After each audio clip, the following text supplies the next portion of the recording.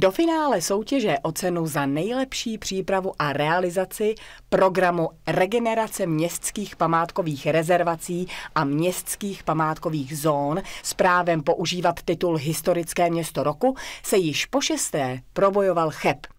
Po nominacích v letech 2006, 2012, 2020, 2022 a vítězství v roce 2014 obdrželi dne 18. dubna v Praze zástupci města ocenění spojené se šekem na 100 000 korun na další opravy památek za loňský rok za účast ve finále mezi třicítkou zúčastněných sídel. V přihlášce Chebu na stránkách Združení historických sídel jsou schrnuty podrobné údaje k realizovaným akcím, opravám a investicím za více než 24 milionů korun, které v předchozím roce Cheb realizoval. Zájemci zde najdou také řadu zajímavostí z města, které jediné z Karlovarského kraje letos prošlo až do finále.